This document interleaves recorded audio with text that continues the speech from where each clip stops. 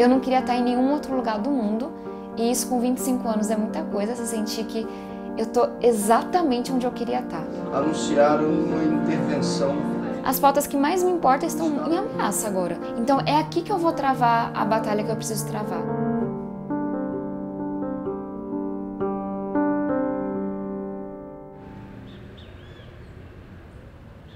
A sensação que eu tenho aqui no Congresso diariamente é que incomoda muito ter mulheres na política.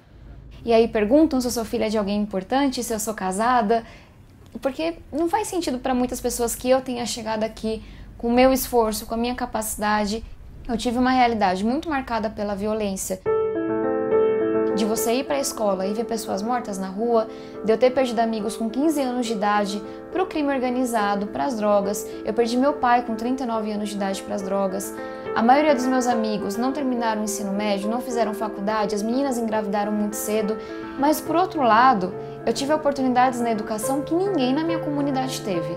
E tudo começou com uma Olimpíada de Matemática. Eu ganhei bolsas de estudo, eu fiz faculdade na melhor universidade do mundo nos Estados Unidos. E você encaixar esses dois mundos juntos é muito complexo.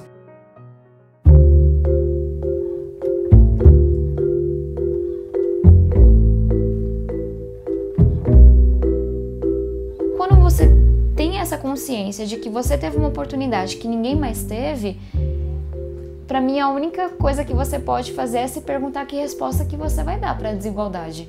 E a resposta que eu escolhi dar para essa desigualdade foi educação.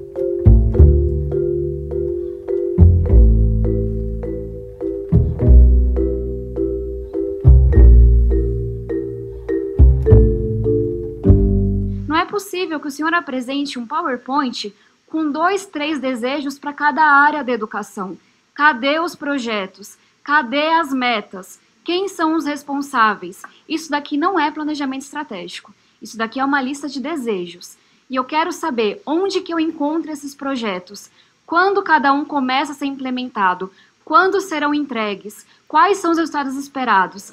Me agonia um pouco ver a violência nas palavras, ver o descaso com o que realmente importa e todo mundo marcando posição para garantir a próxima eleição. Nós podemos aprender a lidar com violência com os gloriosos anos do regime militar. Não é à toa que ocupamos os cargos mais os índices mais baixos de todas as nações. Eu tenho uma visão de mundo completamente diferente da do governo Bolsonaro. Em uma democracia isso acontece, isso faz parte. Agora, não dá para a gente achar que evidência não importa. Não dá para a gente ter políticas públicas que impactam milhões de pessoas sendo decididas dentro da cabeça de uma ou duas pessoas. Especialmente quando a gente desenha políticas para combate à violência contra a mulher, se você coloca o teu preconceito, o teu achismo, você pode estar realmente prejudicando as pessoas.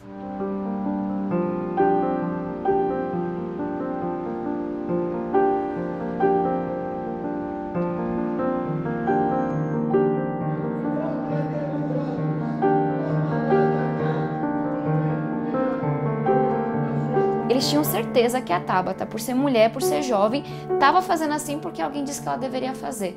Isso é muito ofensivo.